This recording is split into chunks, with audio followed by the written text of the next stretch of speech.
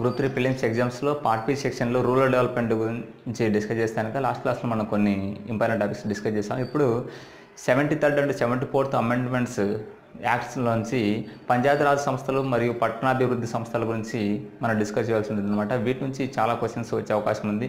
వీటిలో ఇంపార్టెంట్గా ఆర్టికల్స్ విషయంలో కానీ ఏ ఇతర ఇంపార్టెంట్ క్వశ్చన్స్ కానీ మన ప్రిలిమ్స్కి ఏ విధంగా రీచ్ కావచ్చు ఎలాంటి క్వశ్చన్స్ రావచ్చు అదేవిధంగా వాటికి సంబంధించిన ఫుల్ డీటెయిల్స్ అనేది ఈ క్లాస్లో మనం డిస్కస్ చేద్దాం అనమాట ఈ రూరల్ డెవలప్మెంట్ క్లాస్ నుంచి ఈ పంచాయతీరాజ్ సంస్థలు అనేవి ఎలా రాజ్యాంగ ప్రతిపత్తి సాధించాయి ఎలా అమలయ్యాయి దాని గురించి తెలుసుకుంటే వీటిలో మనకు ముఖ్యంగా ఫస్ట్ రాజీవ్ గాంధీ రాజీవ్ గాంధీ పిఎంగా ప్రైమ్ మినిస్టర్గా ఉన్నప్పుడు అరవై నాలుగవ అమెండ్మెంట్ యాక్ట్ తెలుసు కదా అమెండ్మెంట్ యాక్ట్ అంటే ఇంగ్లీష్లో అంటారు తెలుగులో సవరణ బిల్లు అంటారు అనమాట రాజ్యాంగం ప్రకారము. అరవై నాలుగవ అమెండ్మెంట్ యాక్ట్ సవరణ బిల్లు. పంచాయతీరాజ్ సంస్థలకి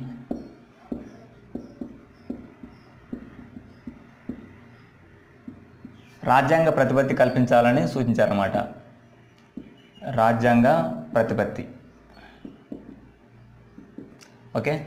అరవై నాలుగు అమెండ్ ప్రకారం. అదేవిధంగా అరవై ఐదవ అమెండ్మెంట్ ప్రకారం అరవై ఐదవ అమెండ్మెంట్ యాక్ట్ ప్రకారము పట్టణాభివృద్ధి సంస్థలకి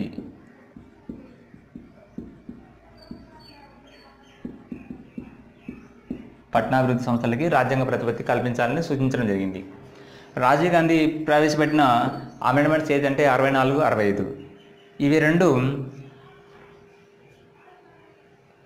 లోక్సభలో రాజ్యసభలో ప్రవేశపెట్టడం కానీ జరిగింది. కానీ ఇవి రెండు తిరస్కరణకు గురయ్యాయి అనమాట అంటే పేలురయ్యాయి.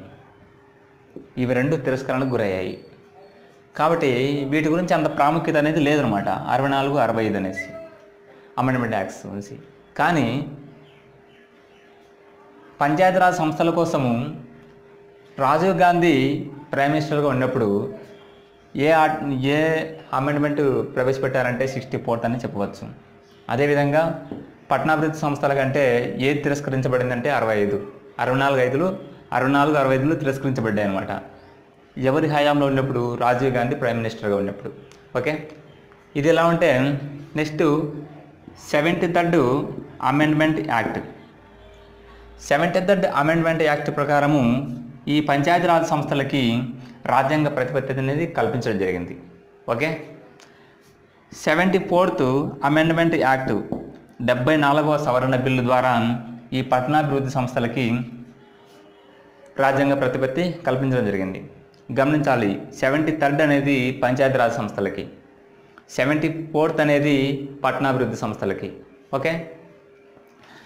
ఈ సెవెంటీ థర్డ్ అమెండ్మెంట్ యాక్ట్ అనేది లోక్సభ రాజ్యసభ మరియు రాష్ట్రపతి ఆమోదం కూడా పొందడం జరిగిందనమాట ఎప్పుడు ఏ సంవత్సరంలో జరిగింది? పంతొమ్మిది వందల తొంభై రెండులో. ఓకే? ఇది కూడా పంతొమ్మిది వందల తొంభై రెండులోనే. ఏప్రిల్ ఇరవై నాలుగు పంతొమ్మిది వందల తొంభై మూడు నుంచి అమల్లోకి వచ్చాయన్నమాట. ఓకే? ఏప్రిల్ ఇరవై నాలుగు పంతొమ్మిది వందల తొంభై మూడు నుంచి అమల్లోకి రావడం జరిగింది. ఏటివి? పంచాయతీరాజ్ సంస్థలు డెబ్బై మూడవ అమెండ్మెంట్ యాక్ట్ ప్రకారము పంతొమ్మిది వందల తొంభై రెండులో ఆమోదం పొంది పంతొమ్మిది వందల తొంభై మూడు ఏప్రిల్ ఇరవై నాలుగున అమలు జరగడం జరిగింది. ఏప్రిల్ ఇరవై నాలుగో తేదీ. ఈ ఏప్రిల్ ఇరవై నాలుగో తేదీనే మనము పంచాయతీరాజ్ సం పంచాయతీరాజ్ దినంగా పేర్కొనడం జరిగింది.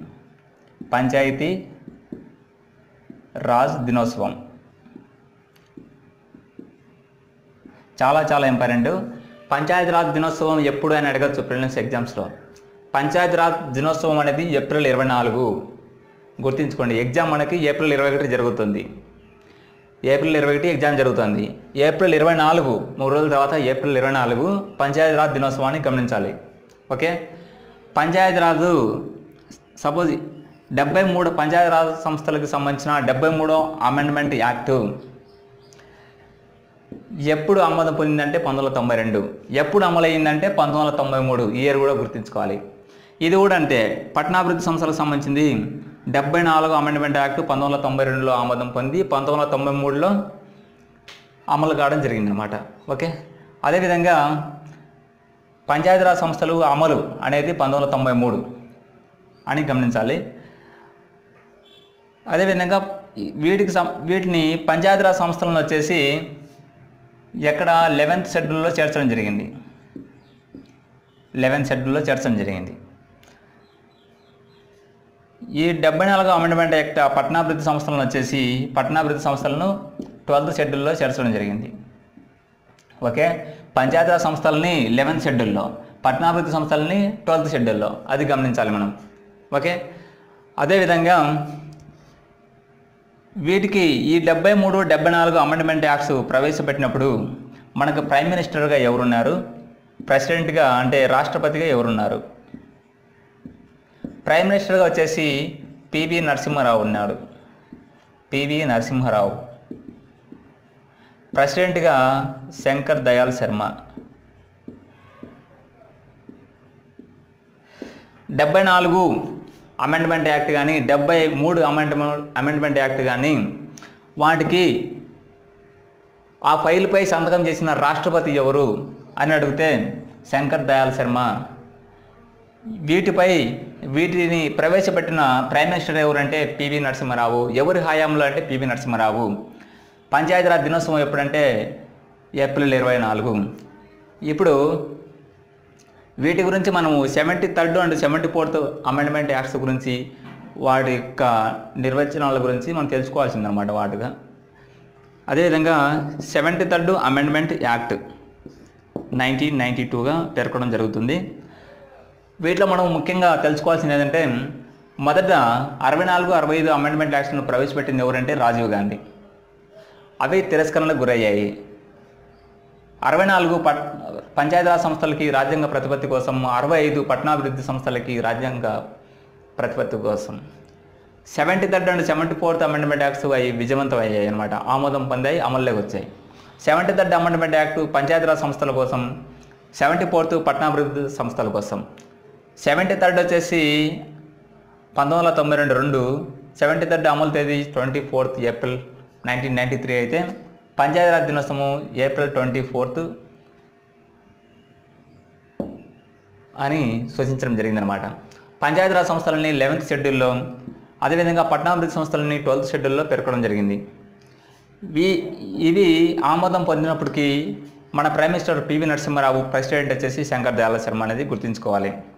ఇప్పుడు సెవెంటీ థర్డ్ అమెండ్మెంట్ యాక్ట్ గురించి తెలుసుకోవడం జరుగుతుంది కనుక ఇప్పుడు సెవెంటీ థర్టీ యొక్క amendment act articles two forty three నుంచి టూ ఫార్టీ త్రీ ఓ వరకు ఉన్నాయన్నమాట ఆర్టికల్స్.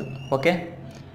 అడగచ్చు. పంచాయతీరాజ్ సంబంధించి సంస్థలకు సంబంధించింది ఆర్టికల్స్ ఏవే ఎక్కడి నుంచి ఎక్కడి వరకు ఉన్నాయంటే రెండు వందల నలభై మూడు నుంచి రెండు వందల నలభై మూడు ఓ వరకు ఓ వరకు పంచాయతీరాజ్ సంస్థలకు సంబంధించింది.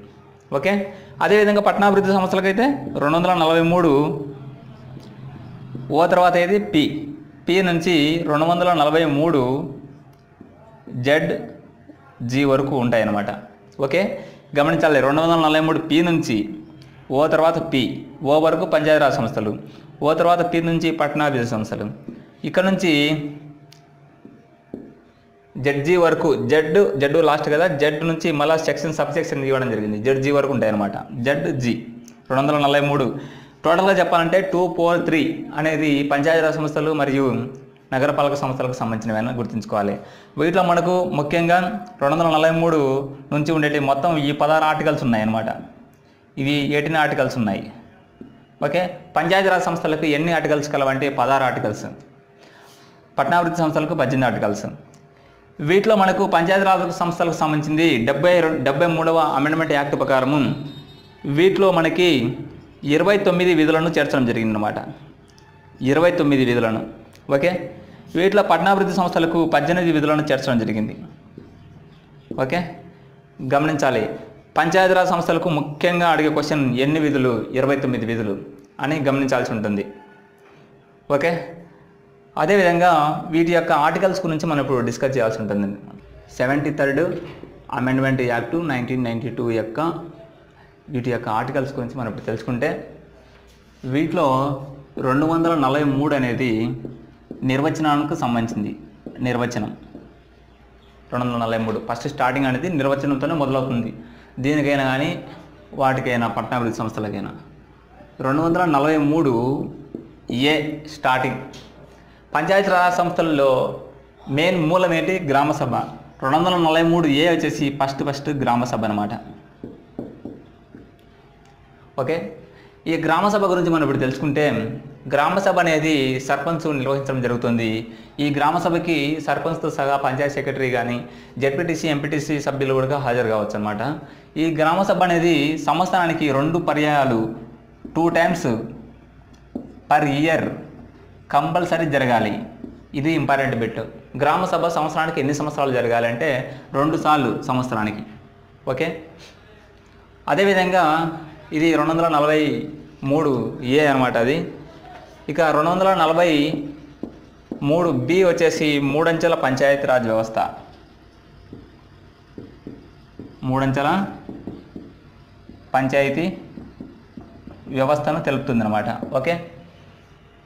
రెండు వందల నలభై మూడు బి ఏ వచ్చేసి గ్రామసభ బి వచ్చేసి మూడంచెల పంచాయతీ వ్యవస్థ అనమాట ఈ మూడంచెల పంచాయతీ వ్యవస్థలో ఇక్కడ బి వన్ అనేది ఉన్నాయి బి టూ అలాంటివి ఉన్నాయన్నమాట. వీటిలో మనకి ముఖ్యంగా ఇది అంత ఇంపార్టెంట్గా గుర్తుపెట్టుకోవాల్సిన అవసరం అయితే లేదు. రెండు వందల నలభై మూడు బి వచ్చేసి మూడంచెల పంచాయతీరాజ్ వ్యవస్థ అనేది గుర్తుపెట్టుకుంటే సరిపోతుంది. ఇక రెండు వందల నలభై మూడు సి పంచాయతీరాజ్ నిర్మాణం ఎన్నికలు. పంచాయతీ పంచాయతీ నిర్మాణము పంచాయతీరాజ్ నిర్మాణం ఓకే? నిర్మాణం అండ్ ఎన్నికలు. ఈ నిర్మాణం ఎన్నికల గురించి మనం డిస్కస్ చేస్తే రెండు వందల నలభై మూడు సిలో ఇక వీటిలో సబ్సెక్షన్ ఉంటాయన్నమాట. వన్ టూ త్రీ అని. వాటి గురించి గుర్తించవలసిన అవసరం లేదు. వీటిలో మనకు కాలపరిమితి విషయాలు కానీ ఎన్నికలకు సంబంధించిన విషయాలు కానీ మనం గుర్తించుకోవాల్సి ఉంటుందన్నమాట సి వన్లో. ఇవి వీటిలో సీవన్ మనం గుర్తిస్తే కనుక ఇవి ఎన్నికలు వచ్చేసి ప్రత్యక్ష పద్ధతిలో జరుగుతాయి అన్నమాట ప్రత్యక్ష పద్ధతి. జనాభా నిష్పత్తిన జనాభా నిష్పత్తిన సీట్ల కేటాయింపు అనేది ఉంటుంది. జనాభా నిష్పత్తిన సీట్ల కేటాయింపు ఉంటుంది. ఇది ప్రత్యక్ష పద్ధతిలో ఎన్నికలు అనేది జరగడం జరుగుతుంది అనేది పంచాయతీ నిర్మాణం మరియు ఎన్నికలకు సంబంధించినది. ఓకే? అదేవిధంగా రెండు వందల నలభై మూడు డి చాలా ఇంపార్టెంట్ అనమాట ఈ పంచాయతీ రిజర్వేషన్లకు సంబంధించింది. పంచాయతీ రిజర్వేషన్లు పంచాయతీ రిజర్వేషన్లకు సంబంధించినది. రెండు వందల నలభై మూడు డి చాలా చాలా ఇంపార్టెంట్ ఇది. పంచాయతీ రిజర్వేషన్లకు సంబంధించినది ఇది. ఓకే? రెండు వందల నలభై మూడు డి వీటిలో మనకి సబ్ సెక్షన్ల ప్రకారం చూస్తే ఎస్సీ ఎస్టీల రిజర్వేషన్లు ఎస్సీఎస్టీల రిజర్వేషన్లు. అదేవిధంగా సెకండ్ టైం ఇది చూస్తే కనుక మహిళా రిజర్వేషన్లు అనేది చాలా ఇంపార్టెంట్. ఎస్సీఎస్టీల రిజర్వేషన్లు మహిళా రిజర్వేషన్లు అనేది వీటిలో రెండు వందల నలభై మూడు డిలో చాలా ఇంపార్టెంట్ అనమాట అదేవిధంగా రెండు వందల నలభై మూడు ఈ విషయానికి వస్తే కనుక పంచాయతీల కాలపరిమితి కాలపరిమితిని సృష్టిస్తుంది అనమాట రెండు వందల నలభై మూడు ఈ చాలా ఇంపార్టెంట్ కాలపరిమితి. కాలపరిమితి వచ్చేసి ఫైవ్ ఇయర్స్ అనేది ఉంటుంది. ఒకవేళ ఈ పంచాయతీ అనేది రద్దు అయితే కనుక అంటే ఈ ఐదు సంవత్సరాల లోపు ఈ ఐదు సంవత్సరాల కాలపరిమితి లోపు పంచాయతీ రద్దు అయితే అంటే ఏదైనా అవాంతరాలు జరిగి జరిగితే అప్పుడు మళ్ళీ ఆరు నెలల్లోపు మళ్ళీ ఎన్నికలు అనేది జరగాల్సి ఉంటుంది. ఈ పంచాయతీ యొక్క సర్పంచ్ రాజీనామా చేసిన తర్వాత కానీ ఏదైనా అవాంతరాల వలన సర్పంచ్ సంబంధించినది జరిగితే కనుక ఉప సర్పంచ్గా ఉంటాడు. ఉప సర్పంచ్ సర్పంచ్గా ఉండడం జరుగుతుంది. కానీ ఈ ఈ ఐదు సంవత్సరాల కాల పరిమితి గల పంచాయతీ రద్దు అయితే ఉప సర్పంచ్ కానీ లేకపోతే ఈ ఆరు నెలలలోపు మళ్ళీ ఎలక్షన్స్ అనేది జరపవలసి ఉంటుంది ఖచ్చితంగా. పంచాయతీ రద్దయిన ఆరు నెలలలోపు కంపల్సరీ ఎలక్షన్ జరపవలసి ఉంటుంది. చాలా ఇంపార్టెంట్ పంచాయతీ కాల పరిమితి ఐదు సంవత్సరాలు. పంచాయతీ రద్దు అయితే ఎన్ని నెలలలోపు మళ్ళీ ఎన్నికలు జరపాలంటే ఆరు నెలల్లోపు అనేది గమనించాలి కంపల్సరీ. ఓకే? ఇక రెండు వందల నలభై మూడు ఎఫ్. ఇది సభ్యుల యొక్క అనర్హతను సూచిస్తుంది అన్నమాట అనర్హత. ఈ సభ్యుల యొక్క అనర్హతను ఎవరు విచారణ జరుపుతారంటే మున్సిపల్ కోర్టు. గ- గమనించండి. మున్సిపల్ కోర్టు విచారణ జరుపుతుంది. సభ్యుల నరకతను వచ్చేసి మున్సిపల్ కోర్టు విచారణ అనేది జరపడం జరుగుతుంది అనమాట ఓకే? అదేవిధంగా రెండు వందల నలభై మూడు హెచ్ విషయానికి వస్తే సారీ పర్ జి రెండు వందల నలభై మూడు జి విషయానికి వస్తే కనుక పంచాయతీల అధికారాలు విధులు. అధికారాలు విధులు. ఇవి వచ్చేసి లెవెన్త్ షెడ్యూల్లో ఇరవై తొమ్మిది విధులు పేర్కొనడం జరిగిందనమాట ఓకే ఇది గమనించాలి. రెండు వందల నలభై మూడు హెచ్ పన్నులు నిధులు. అదేవిధంగా రెండు వందల నలభై మూడు ఐ ఆర్థిక సంఘం. ఆర్థిక సంఘం యొక్క కాల కాలపరిమితి ఏది? ఫైవ్ ఇయర్స్ ఆర్థిక సంఘము దేనికి ఉపయోగపడుతుంది? ఆర్థిక సంఘం కాలపరిమితి అడగచ్చు. ఆర్థిక సంఘం కాలపరిమితి ఐదు సంవత్సరాలని గమనించాలి. ఆర్థిక సంఘము దేనికోసం ఉపయోగపడుతుంది? స్టేటు మరియు పంచాయతీ. స్టేటు మరియు పంచాయతీని వాళ్ళ మధ్య వ్యత్యాసం అంటే వాళ్ళ నిధులు కానీ పన్నులు కానీ ఆర్థికంగా సంబంధించిన విషయాలు ఏవైనా కానీ షేర్ చేయడం కానీ అలాంటివి ఉంటాయన్నమాట ఆర్థిక సంబంధ ఆర్థిక సంఘం సంబంధించినవి. అదేవిధంగా రెండు వందల నలభై మూడు జే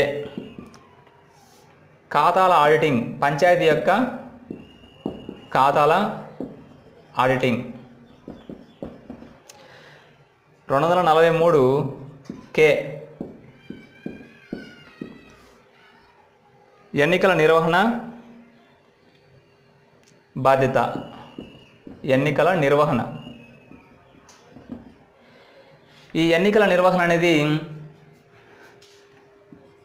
ఎలక్షన్ కమిషన్ను నియమించడం జరుగుతుందన్నమాట. ఎన్నికల నిర్వహణలో భాగంగా. రెండు వందల నలభై మూడు కే ప్రకారం ఎలక్షన్ కమిషన్ నిర్వహించడం జరుగుతుంది ఎన్నికల నిర్వహణ ప్రకారము.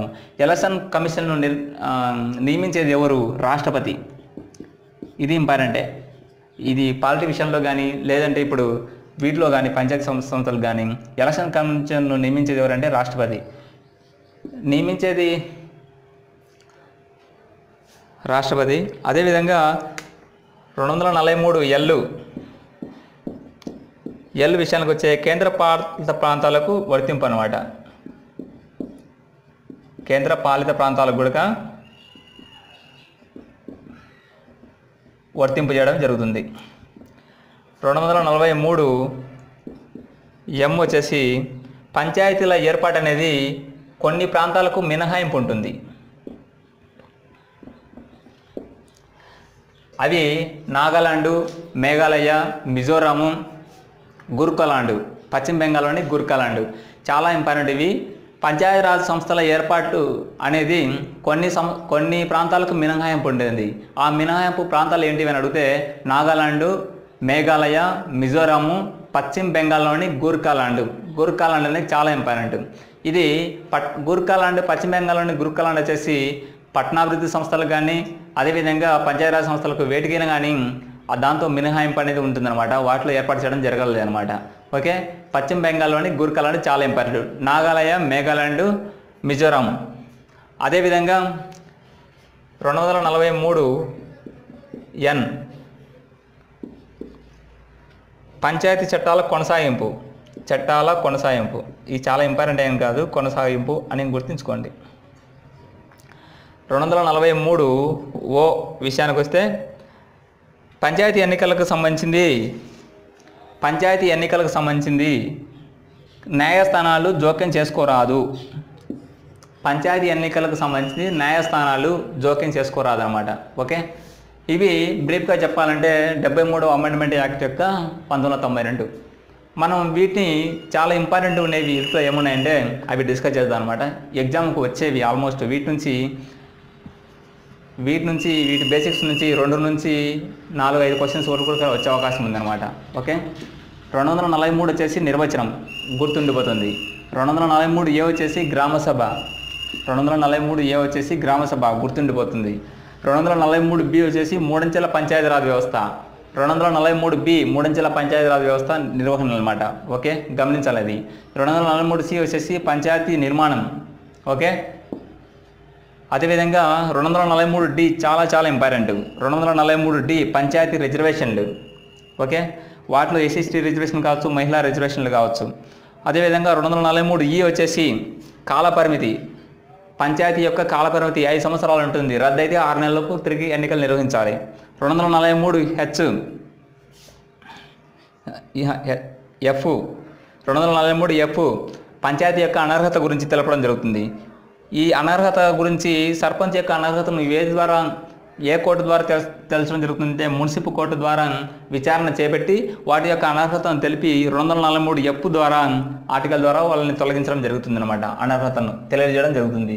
రెండు వందల నలభై మూడు జి అధికారాలు విధుల గురించి పంచాయతీ యొక్క అధికారాల విధులు ఏ ఆర్టికల్ సంబంధించిందంటే రెండు వందల నలభై మూడు జి అని గమనించాలి. రెండు వందల నలభై మూడు హెచ్ పన్నులు నిధుల గురించి సర్పంచ్ లేదా గ్రామ పంచాయతీ విధించే పన్నుల గురించి కానీ వాటి యొక్క గ్రామ పంచాయతీ యొక్క నిధుల గురించి కానీ రెండు వందల నలభై మూడు హెచ్ అనేది తెలియజేయడం జరుగుతుంది.